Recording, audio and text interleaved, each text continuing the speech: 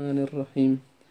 سبق نمبر چار اب چار قسم کی جو تعریف ہے وہ ذکر کر رہے مصنف رحم اللہ سے۔ ام الفرض فرض وہ ہے فما مانا وہ ہے۔ ثبت بدلیل قطعی۔ ثابت اسی دلیل سے جو یقینی ہو۔ لا شبہ فیہ اس میں کوئی شک شبہ نہ ہو۔ یقینی ہاں یقین نیچے لکھو ہے۔ قسم اند، اما فرض آنست کی ثابت شدہ بدلیل یقینی کہ شک نہ بشد درو، کہ اس میں کوئی شک شبہ نہ ہو۔ تو اسی دلیل سے کوئی شے ثابت، اس کے انکار سے آدمی کافر بھی ہو جاتا ہے، آگے خود بتائے گا۔ وہ حکم ہو فرض کا حکم یہ ہے، الثواب بالفعل، کرنے سے ثواب ملتا ہے۔ حکم او ثوابس بکردن او۔ والعقاب بالترك بلا عذر بغير عذر کی چھوڑنے سے عذاب ہوتا ہے سزا ہوتی ہے وہ عذاب است. عقاب منع عذاب. بالترك بنا کردن بغیر عذر.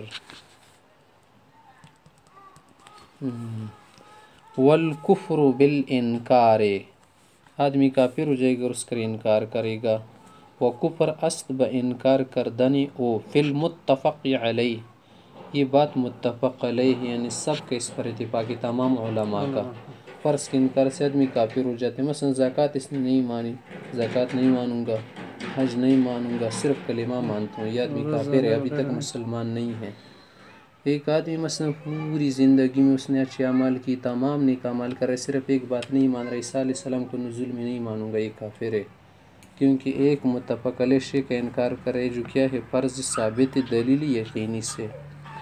والواجب واجب اس کو کہتے ہیں ما ثبت بدلیل فیہ شبہت ایسی دلیل سے ثابت ہو کہ اس میں شک شبہ ہو۔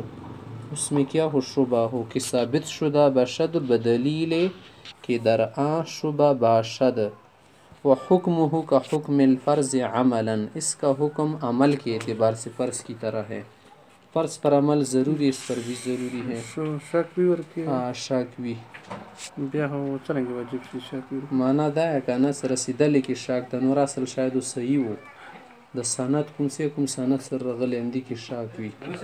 او زنه نه ها فساد یقیني بل زنه ما ثبت حکمه بدلیل فيه شبهة اسم شبهه لا اعتقاد نکتی طور پر نہیں نکیدہ اس کا رکھنا فرض نہیں.